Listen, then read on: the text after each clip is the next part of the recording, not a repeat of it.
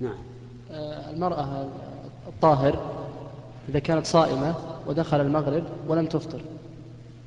فاستمرت لم تفطر لأنها نائمة.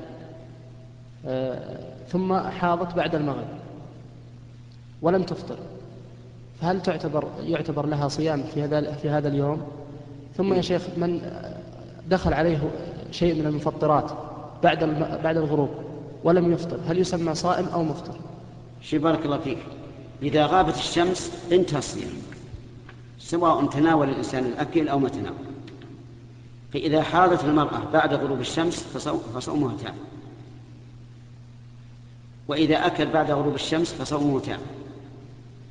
لأن الصوم شرعا ينتهي بغروب الشمس. قال الله تعالى ثم أتم الصيام إلى الليل. وقال النبي صلى الله عليه وعلى آله وسلم إذا أقبل الليل من ها هنا وأشار إلى المشرق وأدبر النهار من ها هنا وأشار إلى المغرب وغربت الشمس فقد أفطر الصائم